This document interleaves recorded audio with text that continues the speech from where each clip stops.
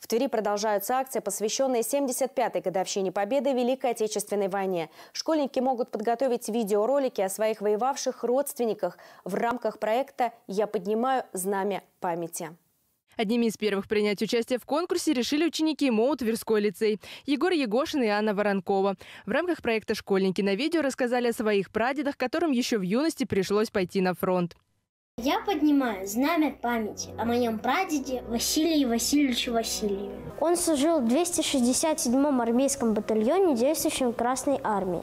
Сейчас встретиться со школьниками и записать интервью непросто. Все на самоизоляции. Обучение, да и сам конкурс «Я поднимаю знамя памяти» проходит дистанционно. Егор вместе с мамой Ольгой соглашаются выйти на связь через скайп. Сначала мы собираем материал, разрабатываем документы, ищем информацию. Да? Для их семьи участие в конкурсе – большой, серьезный проект. Сначала вместе разбирают семейные архивы, потом готовят реферат. Только после этого Егор записывает видеоролик и рассказывает биографию прадеда. Сейчас на самоизоляции вместе с мамой решили приступить к новому проекту и до 9 мая подготовить историю о втором прадедушке Егора. Он тоже был сапером, как и мой другой прадедушка. Да, это важно для того, чтобы сохранить память о наших близких.